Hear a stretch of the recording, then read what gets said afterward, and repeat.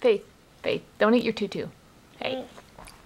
Faith, what does a cow say? Mm. Yeah. What about a dog? What does a dog say? Yeah, good job. Faith, can you say mama? Mom. Good job. Where's Peanut? Woof. Where is she? Is she hiding from you?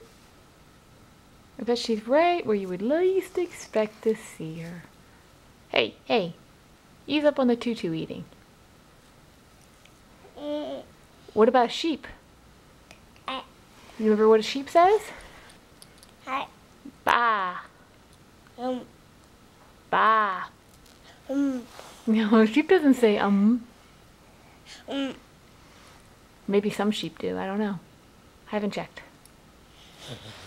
Oh, we're done.